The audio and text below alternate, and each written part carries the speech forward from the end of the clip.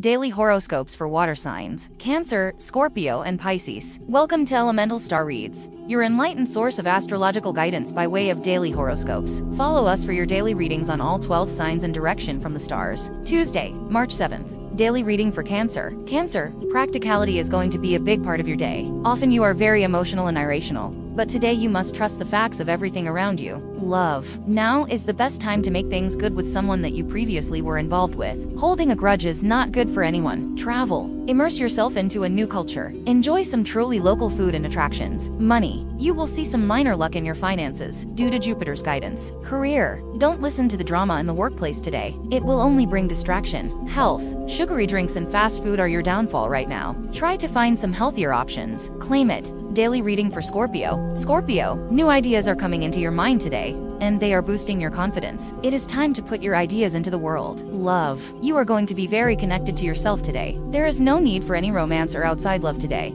because you are so full of self-love. Travel. Ask locals about the best place to dine in the area. Money. Finances are going to see a bit of a hit today, but things will be better tomorrow. Career. Work is great, and you are doing great at work. Health. Give yourself some time to enjoy your own company today. Nourish your body with some delicious food today as well. Claim it. Daily reading for Pisces. Pisces, some physical or emotional changes are taking place in your home and it seems to be making you feel a bit uncomfortable. Don't worry too much. Love. The current planetary positioning is encouraging you to experiment in your love life. You have a type and it doesn't seem to be working out so give it a change. Travel. It would be best if you stayed at home today. Social interaction is not favored. Money. Jupiter is giving you the magic touch. Financial luck is coming your way. Career. Do what you can to be a bit more upfront at work today. Speak up for yourself and those that you admire. Health. It might be time for you to change your diet especially if you are dealing with digestive issues. Claim it. May you find inspiration and enlightenment on your path today. Remember to stay open to the guidance of the universe and trust in its plan for you. Have a wonderful and uplifting day.